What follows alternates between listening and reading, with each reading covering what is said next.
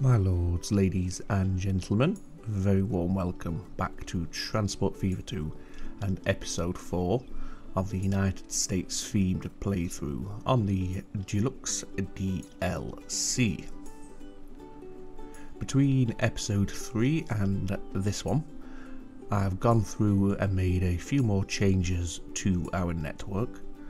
The biggest change being I have added some more trains onto the uh, the run from the Chandler Stone Quarry through to the Hayward Brickworks and then here into the city of New.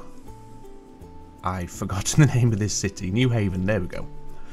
Uh, I think we've got now six trains running on that line, making us a nice amount of money a piece and making sure that the the income is a lot more steady and a lot more consistent here goes one of our trains now actually, loaded up with the stone, passing straight through the New Haven station.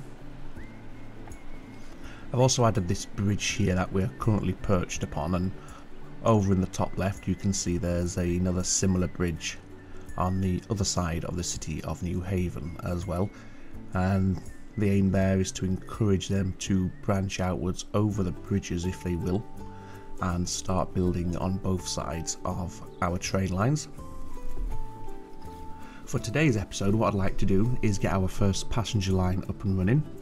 We have a city nearby of Hayward and I think I'd like to link up a passenger line between the two cities and New, I'm sorry, Hayward the city uh, starts out requiring both tools and bricks or construction materials if you will so I think we'll get those two being delivered as well, or we'll make a start on making sure we can get both of those two brought in as well to get Hayward that initial growth. So let's bring up the user interface. As we can see, we've got 20 million in the bank, and I have now changed the currency symbol to dollars to make it more fitting with the series. And here's the state of affairs. Here's the extra road that now just loops around our entire rail network with our train lines just poking out either side of the bridge ready for where we want to take them. And we also have a little bus loop in New Haven as well. And that's in preparation for having passengers coming in and out of this train station. As we can see, New Haven now requires the additional two cargo units. That's goods and machinery. We won't be in a place to deliver those for a little while, but that's the four that New Haven will need from now until the end of the game. Each city we set it so it requires a maximum of four, so we know which four we're bringing into New Haven. And if we scroll out, we can see here's Hayward up here, so it's not going to be too long of a journey for our passenger line. And as I mentioned, tools and bricks are the two starting goods that Hayward requires, and bricks we've got readily accessible right here and tools we can maybe just rework this line down here and get some of these tools picked up from here ship them through into Hayward so let's make a start then. So the first thing we're going to need is a train station up here in Hayward so let's go ahead and build it and we'll make it a passenger station but we'll increase it to also include the the cargo lines as well of course. And we'll pop that just there. That will do quite nicely. Just rename that so it's just pure Hayward rather than Hayward sidings. And let's just do some slight changes to this station. We'll add a second and a third passenger platform. So that's one, two and three passenger platforms available. We can also add a couple of tracks down here for some short services if we want to. And then we want to look at having some cargo platforms. So I'm going to leave a gap this time between our passenger platforms and our cargo platforms. So that little track node there, we will remove it once we're finished, but it just keeps them separated nicely. And we'll just go with that for the time being and yeah like I said we'll remove that middle stretch there That still all classes as one building, thankfully, even though it does have this gap between the two, but it just keeps them separated. Right, so if we want to bring in some passengers, we need to run a line from one of these platforms over to here, bearing in mind, of course, you also want to connect into this cargo line here, so we can start the, the shipment of the bricks into Hayward, and that would just be a dedicated line from here to here. Nothing too fancy, so it would only be a short haul train. But for now, let's focus on getting these passengers dropped off and brought in. And we may as well use platform number one, it's the first one available to us. And we'll keep this nice and straight in terms of its gradient as we leave the station. And how do we want to... Well, I suppose we may as well just go for a pretty straight run between the two. There's no point making it any more complex or convoluted than it absolutely has to be. So just a nice straight connection with a little curve in as we approach the station will work quite nicely. So which platform do we want to use in New Haven? I think we'll use this one here. This is the first passenger platform we have available. So it's this line here. So it's this one just here we want to be connecting into. So let's come from here. There's our line to Hayward and we can just connect that in nice and simple like that. One thing I'm going to do here is just put a little a little uh, junction or a little crossing point just there. That way our train from Hayward it can now access any of the passenger platforms and likewise any of the passenger platforms can, as they're departing, make their way to Hayward. So we've got plenty of scope for all. just moving things about a little bit later and reassigning them to different platforms if we feel that we need to. And then as we get up towards Hayward, we'll do something similar with our passenger platforms. We'll just make it so that in the future, if we need to swap them around, we're able to do so without any difficulty. What do we have here? The American Stagecoach is our first new road vehicle for passengers. So we might want to upgrade our buses, such as they are, that we have in New Haven. And we've also got a couple of extra trains as well, as we can see. All variants of the American 440. We had the Eureka and the Virginia. We also have a passenger car. And that's our lot. There we go. So yes, now we can use any of these four, sorry, any of these three platforms here. And it's just simple, nothing too complicated in how they're all merging together. They're just merging one at a time. And what we'll do is perhaps put two passing loops in at various places along this line here so we can have multiple trains running this running this line if we feel it's necessary. So we'll put a passing loop round about maybe just a little bit further, maybe to about there, and we'll get that to connect back in like that. And we'll put one more just after this level crossing here. Maybe a bit longer than that, say about two there, like that. So let's put our one-way signals in here so our trains are going the right direction on these passing loops. So we want one there, and we want one there. And then same again on this passing loop, we'll have one there. And then down at the far side, we'll have one there. Okay, that's that done and dusted. I think what we'll also do here is we'll give these trains a separate train depot. So if we put our depot, where do we want to put it? Maybe about here. Whoops, not there. And then what we want to do is take a line connect it in, make sure it's got a decent connection and it has, and we may as well do one going in the opposite direction as well like that. And I guess make sure it's got a decent connection. It has. And then we'll give these one-way signals there and there so they can just marshal and police the trains as they join our line. Okay. So the next thing we want to do then is set up this passenger line, our first passenger line of the series, and we're coming from Newhaven and it's a simple point-to-point -point connection straight into Hayward.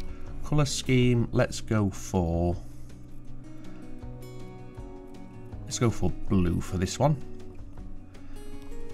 and this will be RP and this is just nice and simple Newhaven and Hayward I would think of the town name there New Haven, Hayward perfect.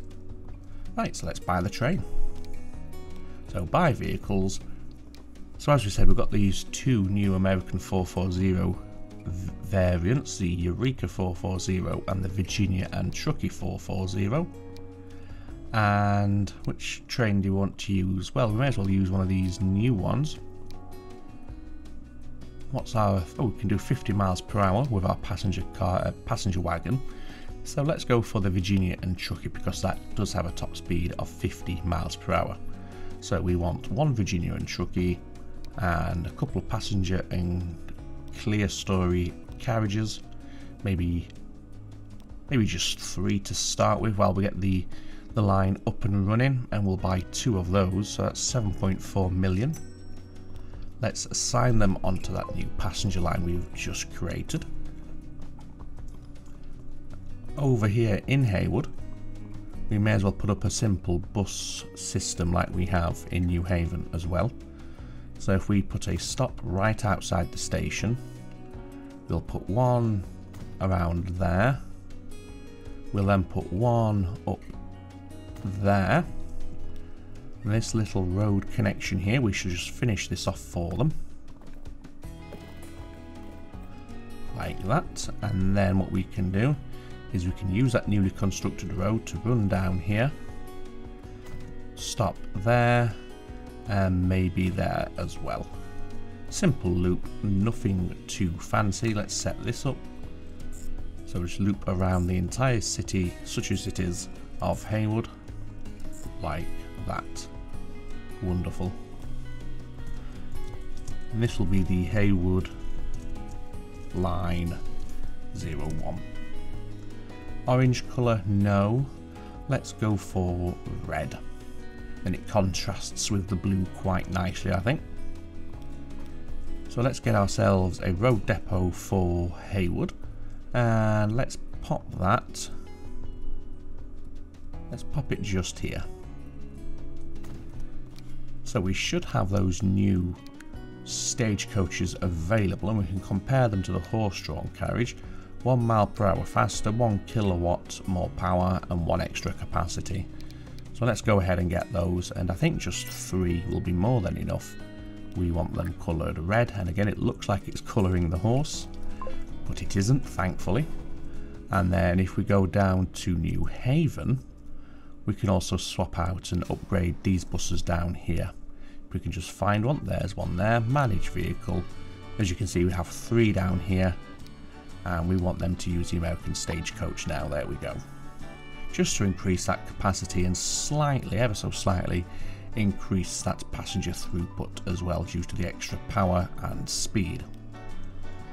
Okay, so while these are all settling in and getting used to what's what, just going to run the train smoothing tool along the side of our track just to take away any sharpness and steepness that may have been generated when we constructed this track.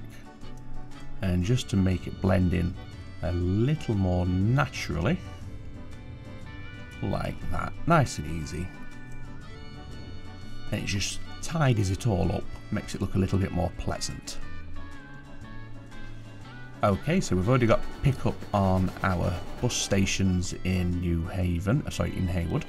No passengers yet on our passenger line, but hopefully they will be uh, coming in the not too distant future. The other thing I want to do before I forget is here at the station in New Hayward, New Hayward, just Hayward, is just add in a couple of these underpasses for the passengers. And we may as well go four across the doors like that. And of course add in the station platform roofs as well, just so they're not getting wet when they're waiting in this dry desert. Okay, so that's the passenger line set up and running. The other thing we might want to start doing, like I said, is at least bringing in some of these bricks here, because it's a very, very straightforward connection to achieve that. So if we were to use this line here, and let's pull that out nice and straight.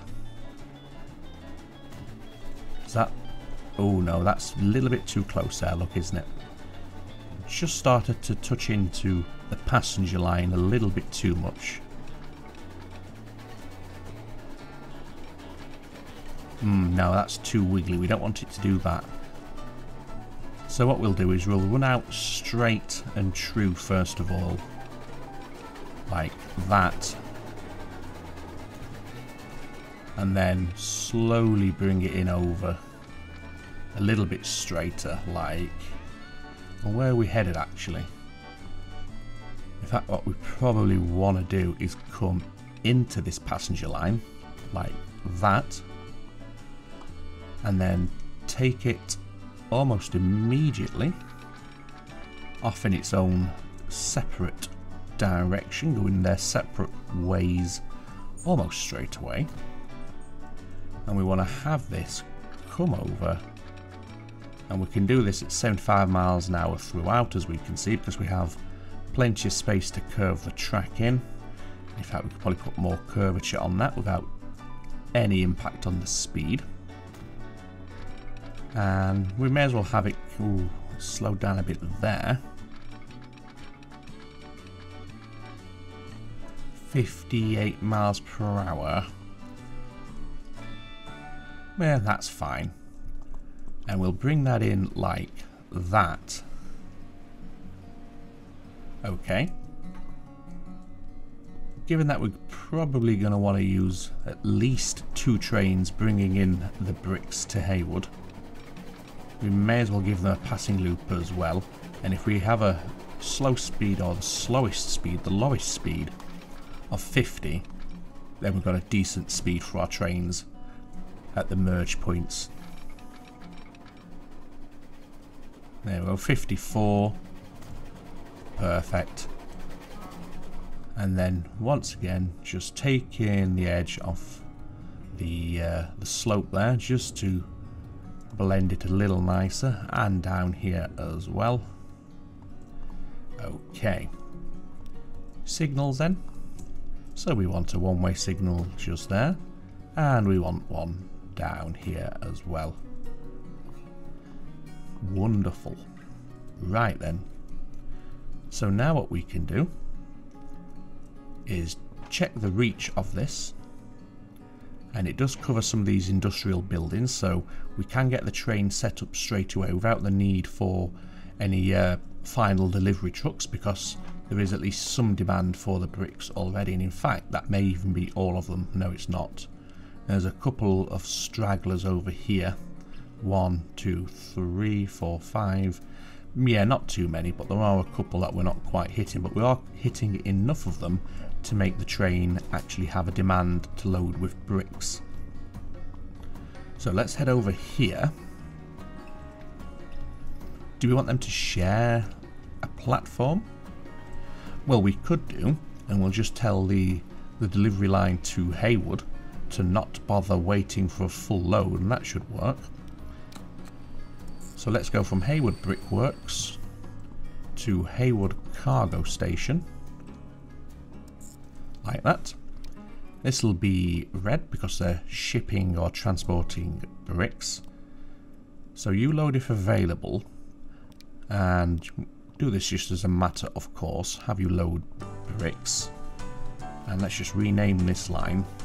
So this is RC, that's rail cargo and this is bricks and this is just simply New Haven. Okay. Let's buy a train for that, shall we? We may as well use this depot. It does have access. It can come down here into the station before leaving to the brickworks. So, locomotives then. What was the one? The Eureka. Should we go for the Eureka for this one, just to mix it up and have a few different variants of trains on the on the lines? I think we shall. And we don't need to double head this one because it's not going to be a very big train, is it? It's not going long distance at all. Maybe six long. That's a capacity of 42. And if we had two of those, that takes us to 84 per train. And I dare say they're going to make at least one delivery per year. They're not going that far. So that should be enough to keep Hayward initially uh, meeting its demands. Let's do that. 5 million. We'll not colour them and put them on that line. Okay, so that's that done. So the tools. Well, we have tools down here. I just don't know if this is being well enough supplied to meet the demands for two cities. I think it probably is. And if it's not, we can always just adjust the trains. As it stands, could we get from here to Hayward? Well, we'd come down here, we'd come this way, of course here. Then we'd come around here. You can get on to any of those platforms because at this point they can decide to take this line or this line. So all three of these platforms are available to you. So you pass through on one of these and well you don't quite make it do you? You're close, we're about 80% of the way there but we just need to give them a way to get from here over to here. Now let's think. Do we want to come in and share the passenger line? Maybe not. Although we'll probably have to share down here before it diverges into the cargo, uh, cargo section of our station. But we'll certainly need something like that to open up the second platform. And I dare say we might, if we can, no, it's probably going to be too tight. Let's see, let's see, let's see. Well, what we can do is do... No, we can't do this because that's switch. Oh, yes, we can.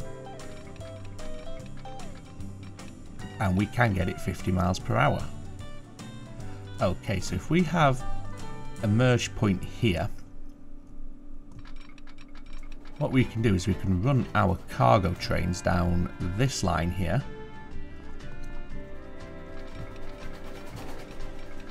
And around and all the way down. Before we depart and head over, say, there. And yeah, I think then that will work. We'll want a couple of passing loops on this point. So what we'll do is we'll give them one here. We can't do it just there. And again, make sure we get at least 50 miles per hour on this. And then bring that in like that. Let's just give them signals here. And this gives them a places uh, gives them a place to wait fairly close to the station should the platform be occupied by uh, one of these trains here dropping off bricks into New Haven, you see. And then down here, oh, we don't even have that connected. That wouldn't have gone well. But yes, down here, what we can then do is do the same again. Give him a stopping place that's fairly close to the junction. That way if the platforms and everything are occupied, they can wait at least reasonably nearby. A bit faster than that please, that's a bit too slow. Let's go from down there. There we go. So let's put a signal there and there.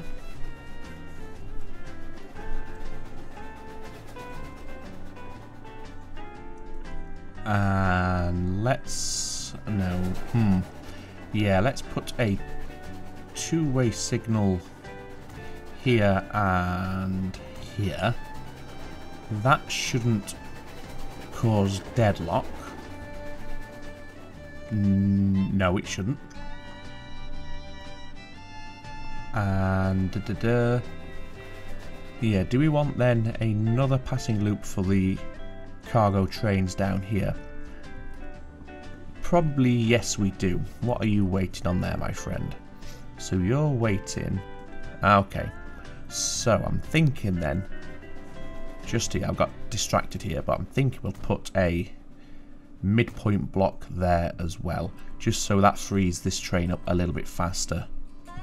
And we probably want to put a midpoint block here as well then, in case it happens on the return journey like that. Anyway, back to the bricks. So do we want to put another passing loop somewhere down here? I think we probably do. So let's give this 50 miles per hour here. Bring you out. And get you in there. And as we've just seen that little interaction of the passenger train there, we might want to consider a midpoint block down here some mm, in fact no. Because we don't know how long these trains are going to be. Our passenger trains are quite short so we know we can get away with that midpoint block. So you've not brought anything back with you yet. Have you? No let's just see what happens here you should load up ah yes there we go just slow that down again. Okay, so that is working correctly. They're not taking a full load, but that's okay. Right, so I think then at this point we should be able to put in and I think we might just go for one train initially just so we see how it how it performs. Let's use that blue and we want you to come all the way down here.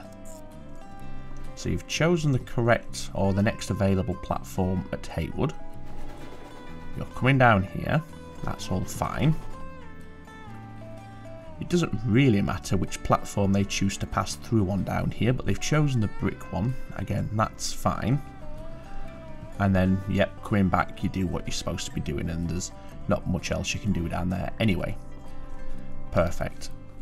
So again, just to make sure, let's just tell them only to load tools at Bellevue. We'll have them load if available, like we have with the bricks up in Hayward. And we'll call this tools, and this is Bellevue. Bellevue. Is it VU like that? No, it doesn't E. It's right there on the screen if you look on the tool factory label. So we have Bellevue to Hayward. Wonderful. Right, so we can now get a train for this one, and we have a depot right here, so we'll drop in and you make utilisation of it. Uh, what do you want to use for this one? Um, duh, duh, duh. yeah, I'm going to go for a Baldwin 280, and again, it's not going to be over big, at least initially. Maybe, again, just six carriages. Yeah, that's fine and say two of them again. Yeah, four and a half million. I'm not really, in this series anyway, I'm not going to be making much or being, I'm not going to be overly concerned about our fulfillment rates in our cities. As long as we're giving them something and it's enough to get them by, that's enough. Because my plan is, uh, this is longer term now for this series, but because we have a large map and we have our cities spread out, I'm thinking of having a few major cities, of course, and then just keeping some of the cities a little bit uh, smaller in terms of their size. And the major cities will have uh, large interchanges for the passengers. So, for example, Clearwater would be a great example here because it's surrounded by towns not too far away. So, Clearwater would be the hub, and that's where all the the express lines and the in-city lines would come in and then from Clearwater we'd have little local lines to all the outlying cities.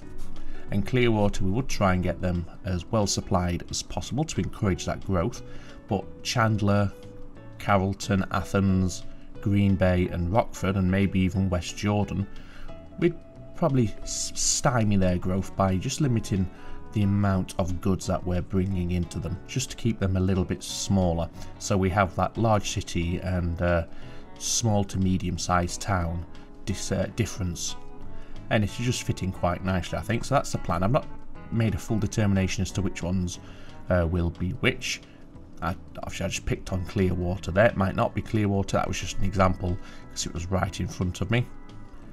But yeah, something like that I think will be something a little bit different and hopefully will work quite nicely. But that's where we're going to leave it for today's episode. Let's pick a train to take a cab ride on, shall we?